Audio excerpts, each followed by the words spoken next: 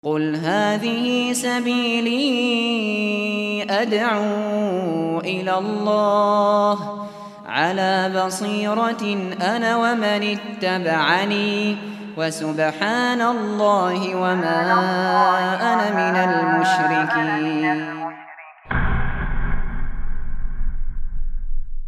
Bismillahirrahmanirrahim Assalamualaikum warahmatullahi wabarakatuh Alhamdulillahirabbil alamin wassalatu wassalamu ala asyrafil anbiya wal mursalin nabiyina Muhammad wa ala alihi washabihi ajmain. Baik ibu-ibu sekalian, kita lanjut. Kali ini pembahasan haid dan nifas sudah, kita lanjut sholat. Ini baru mulai ya, sholat baru mulai Nji. Baik, terakhir itu haid dan nifas kita sudah bahas masa haid paling sedikit berapa, masa suci itu berapa lama, masa nifas paling cepat itu berapa. Nanti diingat pembahasannya seperti itu. Nah, sekarang lihat bab 5. Salat. Jadi setelah bersuci kita bahas, sekarang kita bahas tentang salat. Beliau awali dengan faslun fi a'dzari sholah uzur tidak mengerjakan sholat. Diberikan keterangan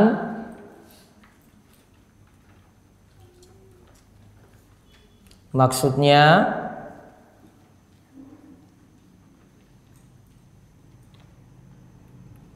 kalau dapati uzur ini Kalau dapati uzur ini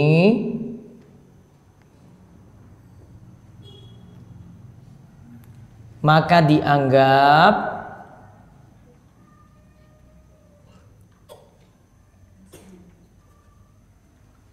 tidak terkena dosa. Maka teranggap tidak terkena dosa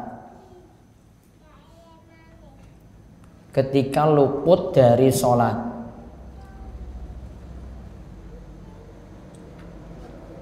Ketika apa? Luput dari sholat. Dan sholatnya tetap dikerjakan ketika ingat. Dan sholatnya tetap dikerjakan ketika ingat.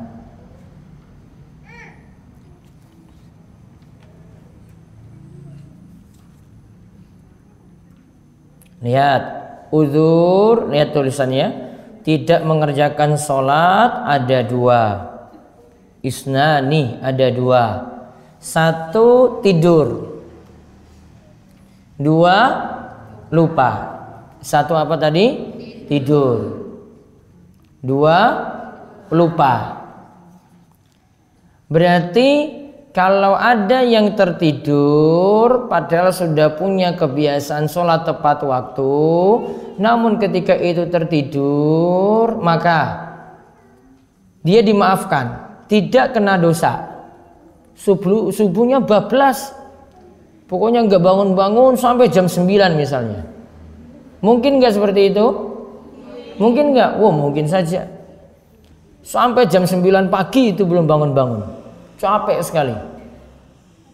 Lalu ketika bangun disuruh sholat langsung. Sholatnya tetap dikerjakan. Termasuk juga yang bangun ketika matahari lagi terbit. Padahal matahari lagi terbit itu waktu terlarang untuk sholat.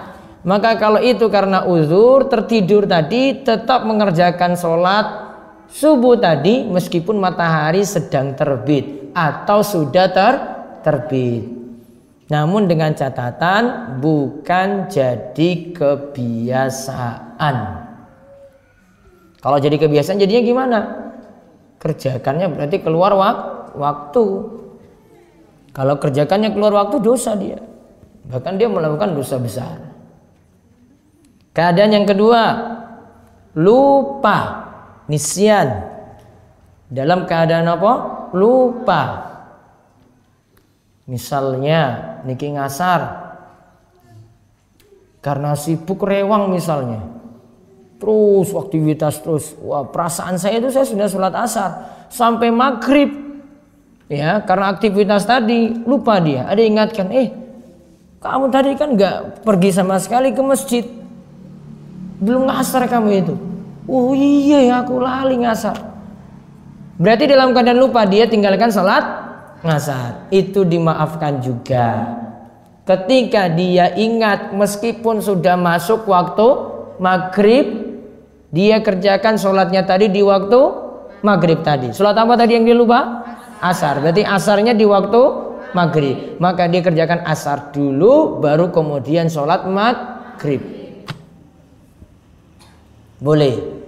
Dalilnya apa? Nabi SAW mengatakan siapa yang lupa atau tertidur kemudian dia itu teringat maka hendaklah dia kerjakan sholat ketika dia itu ingat.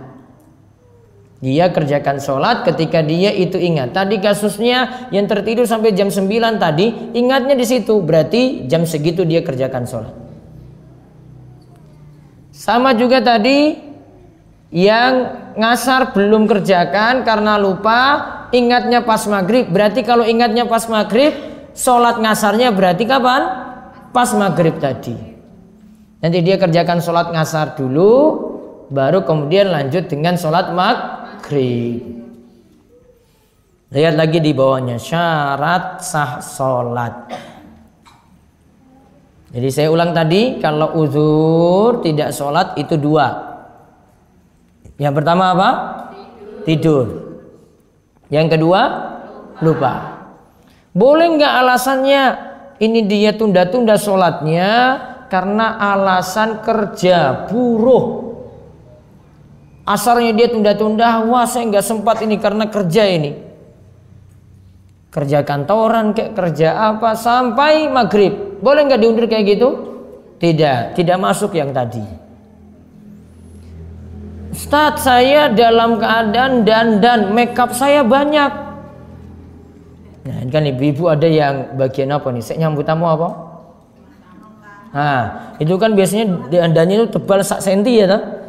Wah, itu sering dapat pertanyaan itu. Ustadz gimana kalau saya itu nunda nanti sholatnya ini? Kasihan nanti masa saya nanti make upan lagi repot. Solusinya gimana kalau gitu? Hah? Boleh jamak? Enggak boleh. Terus solusinya gimana? Ya? Among tamu tadi nggak perlu dandan. Wes selesai.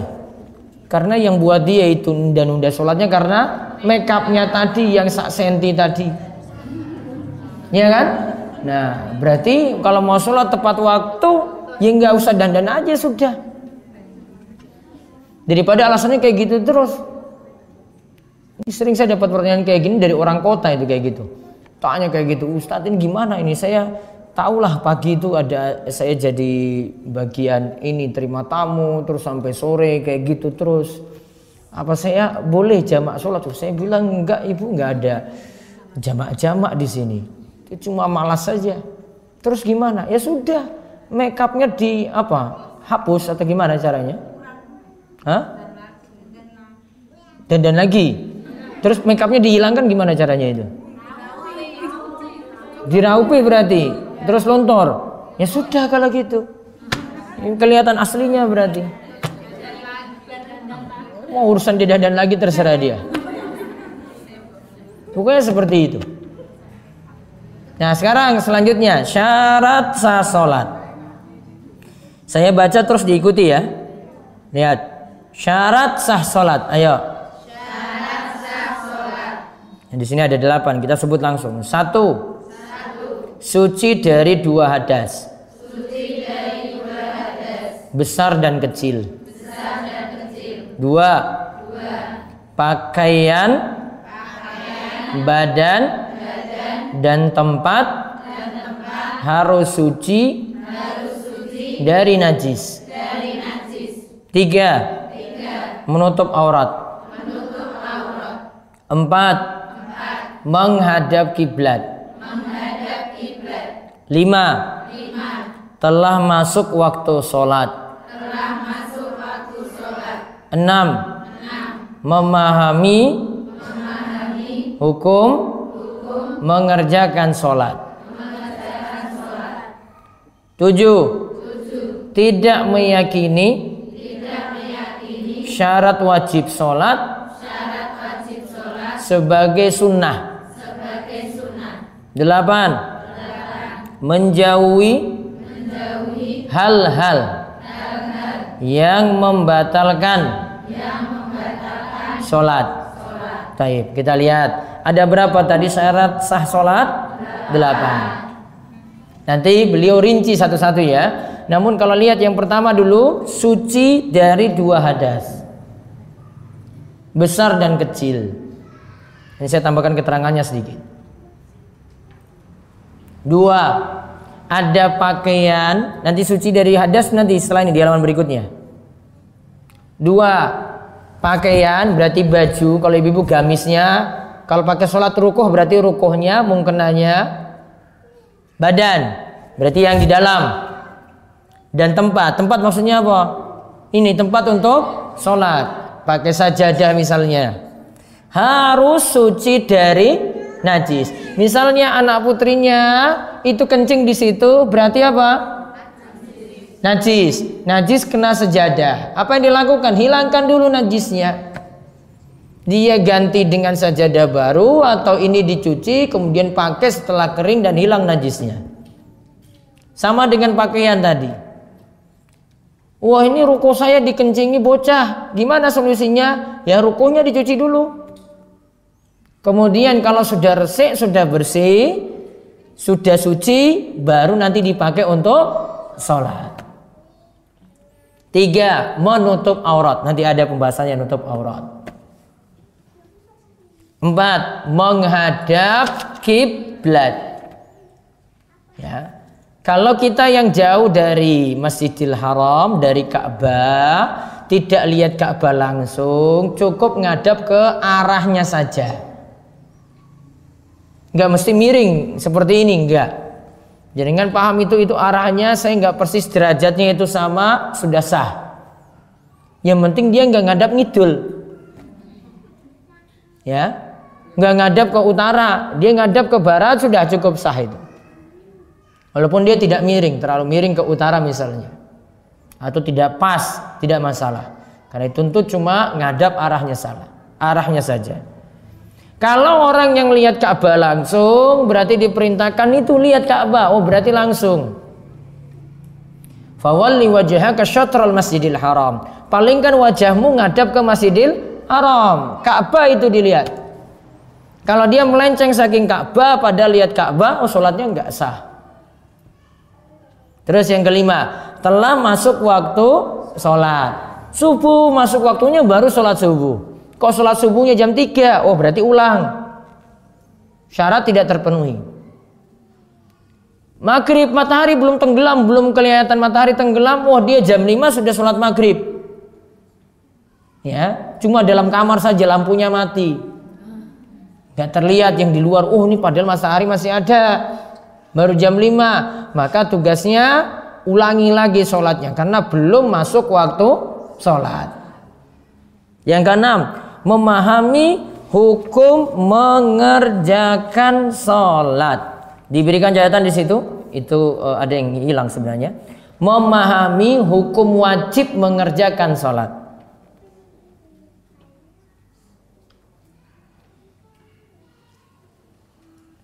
Artinya wajib-wajibnya dia tahu. Niki rukun-rukunnya dipelajari. Nanti ada 17 rukun nanti yang kita bahas. Memahami hukum wajib mengerjakan sholat. Jadi ada kaitan-kaitannya dengan wajib itu dipahami. Jangan sampai yang wajib itu ditinggalkan. Baca Al-Fatihah ditinggalkan, batal sholatnya. La sholat liman lam yakra bi fatihatil kitab. Kata Nabi SAW tidak ada sholat bagi orang yang tidak baca Al-Fatihah. Terus tujuh, tidak meyakini syarat wajib sholat sebagai sunnah. Berarti yang wajib diyakini wajib, tidak boleh diyakini sunnah. Baca Al-Fatihah itu wajib, tidak boleh dianggap sunnah. Kecuali nanti jadi makmum. Namun kalau sholat sendirian, ibu-ibu sholat sendirian, wajib baca Al-Fatihah. Nggak bisa diganti Al-Ikhlas. Oh saya baca Al-Ikhlas saja, nggak baca Al-Fatihah, batal sholatnya. Yang wajib diyakini wajib, tidak boleh diyakini sunnah. Delapan, menjauhi hal-hal yang membatalkan sholat. Lihat catatan lagi macam-macam hadas. Yang terakhir, saya baca diikuti. Macam-macam hadas. Macam-macam hadas. Hadas dibagi menjadi dua. Satu. Hadas kecil. Yaitu, segala hadas, yang mewajibkan, seseorang, seseorang berwudu. Dua. Dua. Hadas besar yaitu segala hadas, yang mewajibkan, seseorang mandi. Baik, berarti hadas ada berapa macam hadas? Dua. Yang pertama hadas kecil, yang kedua hadas besar. Hadas kecil disuruh apa? Wajib apa? Wudhu. Misalnya habis kentut, kewajibannya wudhu kalau dia mau sholat. Ya, kemarin pembatal-pembatal wudhu sudah kita bahas dia kentut, dia tidur hilang kesadaran, wudhunya batal, maka dia wajib berwudhu dulu, kemudian dia mengerjakan sholat. Kemudian hadas yang kedua, hadas apa? Besar. Diharuskan untuk mandi. Kalau dia itu mandi, hadasnya itu terangkat, ya, baru kemudian dia boleh mengerjakan sholat. Wanita misalnya lagi suci saking haid, dia mandi dulu baru kemudian dia mengerjakan sholat baik cukup sampai macam-macam hadas ya cukup sampai macam-macam hadas baik ada pertanyaan konten pertanyaan? Ini pada sibuk rewang ini ya. Ya monggo bu. Waalaikumsalam warahmatullahi wabarakatuh.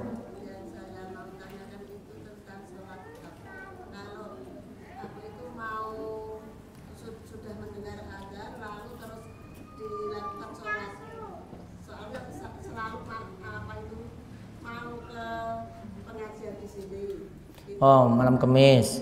J, terus?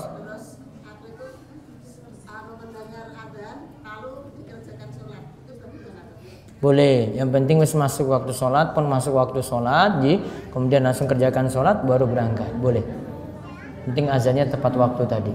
Baik itu saja, mungkin-mungkin semuanya diberikan panjang umur, terus sehat, dan dimudahkan untuk ibadah dan terus istiqomah. Kita tutup kalian doa kafaratul majelis monggo.